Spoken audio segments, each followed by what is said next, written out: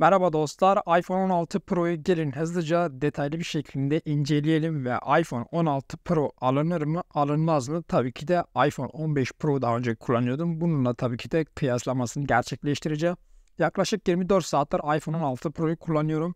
15 Pro'nun arasındaki değişiklikler nelerdir ve herhangi bir e, değişik hissiyatı veriyor mu vermiyor mu? Hızlıca onlara bir göz atalım. İlk önce telefonu bir çerçeve olarak incelemeye alalım. Telefona baktığımızda ise sadece tek bir tuş yani 15 Pro'ya göre tek bir tuş değiştirerek bu telefonun lasmana koyduklarını söyleyebiliriz. Tabii ki de Apple'ın yeni geliştirmiş olduğu Apple Intelligence yani yapay zekası şu anda Türkiye'de geçerli olmadığı için bunu bahsetmek bile e, doğru değil arkadaşlar. Hemen onu da söyleyeyim sizlere. İlk önce ekran boyutuna başlamak istiyorum. Ekran boyutuna baktığımızda ise tabii ki de ekran boyutu 6.3 inçlik bir ekran boyutu var. Tabii ki de biraz daha büyük bir ekran boyutu. Bu ekranı biraz büyük yapmaları gerçekten güzel olmuş. Bu sefer siyah rengi tercih ettim. Çerçeveye baktığımızda ise çerçevesi biraz daha ince iPhone 15 Pro'ya göre. Ve tabii ki de şu anda da siz farkına var, varmanız için ben şu anda buna iPhone 15 Pro'nun kırılmaz camını yapıştırmışım. Görmüş olduğunuz gibi şuraya kadar geliyor ve bundan sonrası tabii ki de ekran büyüklüğü kendisi ortaya çıkartıyor. Bu şekilde daha rahat bir şekilde farkına varabilirsiniz. 24 saat boyunca kullandığım aradaki hissiyat e, farkı şu. iOS 18 yazılım güncellemesi gerçekten iPhone 16 Pro'da çok güzel bir şekilde işlendiğini ve herhangi bir kasma, donma söz konusu olmadığını söyleyebilirim. Telefonu şarja taktığınızda herhangi bir ısınma veya bir sorunla karşılaşmıyorsunuz. Biliyorsunuz ki iPhone 15 Pro ve Pro Max kullanan kişiler hatta iPhone 14 Pro ve Max'ler için de geçerli. Telefonu şarja taktığınızda telefon çok fazla ısınma oluyor ama bu cihazda gerçekten ısınma sorununu en aza indirdiklerini söyleyebilirim. Hatta hiç ısınmadığını da söyleyebilirim. 6.3 inçlik bir boyuta sahip ve 128, 256, 512 1 TB'lik cihaza sahip. Yani depolama alanlarına sahip. 8 GB'lık bir RAM sistemi mevcut bu telefon içerisinde. A18 Pro işlemcisiyle geliyor. Apple'ın en iyi işlemcilerinden bir tanesi.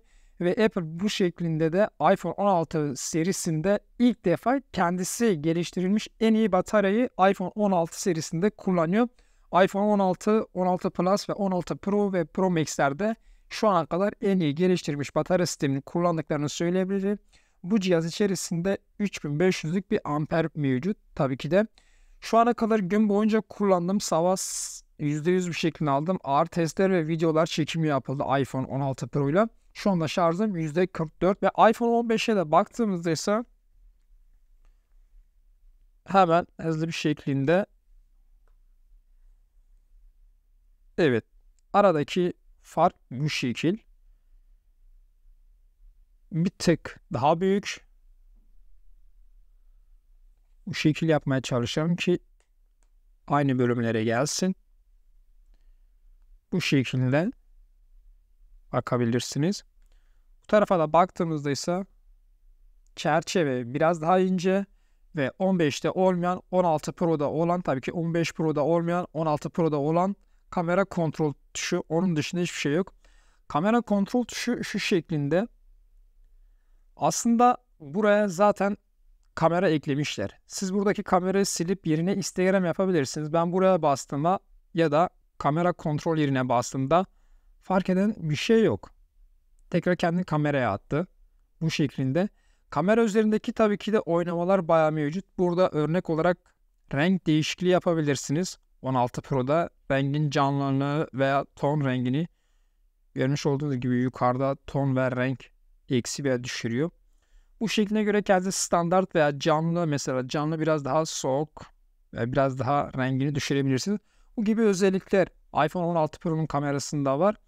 iPhone 16 Pro'nun kamerasında oynamalar mevcut ve tabii ki de yan tuşun dışında herhangi bir değişiklik söz konusu değil. Verilen hassasiyet şu şeklinde evet telefonda herhangi bir kasma donma olmadığı için gayet rahat bir şekilde kullanıyorsunuz ve ısınma da sizleri rahatsız etmediği için telefonu rahat bir şekilde kullanabiliyorsunuz. Ama 15 Pro'dan ya da 15 Pro Max'ten 16'ya geçmek benim için mantıklı değil. Biz içerik üreticisi olarak bu cihazları alıyoruz. Belli bir süre kullanıp tekrar iadelerini gerçekleştiriyoruz. Yani e, almış olduğumuz mağazaya 5 bin lira 10 bin liranın altında tekrar mağazaya geri gönderiyoruz. Sizler 15 Pro, Pro Max'lerden 16 Pro ve Pro Max'lere geçmenizi pek fazla tavsiye etmiyorum. Dediğim şekilde Apple'ın yapay zekası önümüzdeki yıl gelecek ve o zamana kadar mutlaka iPhone 17 piyasaya çıkmış olacak. Belki önümüzdeki yılın Ocak aylarında gelecek ama bu da Pro Max'lerde zaten iPhone 15 Pro ve Pro Max'lerde yapay zeka kullanabileceksiniz. Yapay zekanın tam oturabilmesi için en az 2026'ya kadar sürülmesi ben öngörüyorum. Alt kısımlara baktığımızda ise alt kısımlarda aynı şekil. Onun dışında herhangi bir değişiklik söz konusu olmadığını söyleyebilirim. Sadece kamera kısmında iPhone 16 Pro'ya biraz daha iyi yapmışlar 15'e göre ve tasarımda tek değişiklik kamera kontrol tuşu ve herhangi bir değişiklik söz konusu olmadığını söyleyebilirim.